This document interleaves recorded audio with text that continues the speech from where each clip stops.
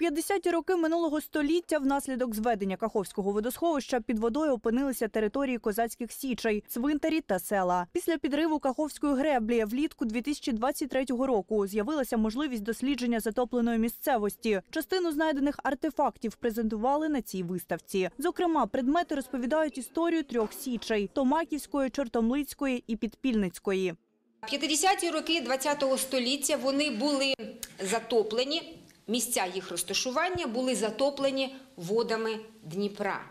І саме цей історичний факт надихнув нас для створення на створення головного експозиційного образу образу ріки Дніпра, е, яка, за словами Дмитра Яворницького, була священною, була заповітною для запорожців і яка зберегла для нащадків пам'ять про столицю війська Запорозького низового.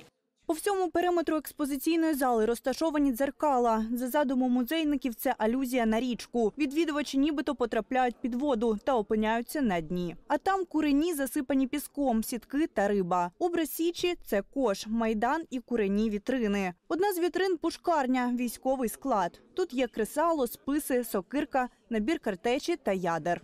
Для когось це звичайні побутові предмети, але їхня масовість, а я нагадаю, що тут у нас в експозиції представлений, ну можливо, відсоток від того, що було знайдено.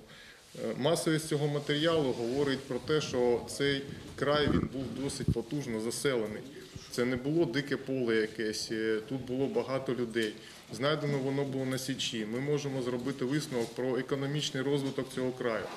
Тобто одна справа, що вони торгували, інша справа, що більшість, особливо побутових предметів і простих елементів озброєння, виготовлялося безпосередньо на січі. А ось ця вітрина кут хати з кахляною грубою під сволоком, що є оберегом. Зазвичай він прикрашався хрестоподібними орнаментами. Ця вітрина власне презентує різноманіття тих орнаментів, які використовували ганчарі для того, щоб прикрасити українську кахляну грубу. Ви можете побачити і рослинні орнаменти, геометричні, а також сюжетні композиції. Наприклад, по центру дуже поширена на той час композиція Вершник на коні. Традиційно скарби та коштовності асоціюються з рундуком, скринею або шкатулкою. Саме тому посередині експозиційної зали розміщені три скрині. Перша наповнена посудом, одягом та озброєнням. У іншій речі особистого вжитку. А от третя демонструє колекцію монет. Для того, аби більш детально оглянути представлені матеріали та дослідити пам'ятки, відвідувачі можуть скористатися збільшувальним склом із підсвічуванням.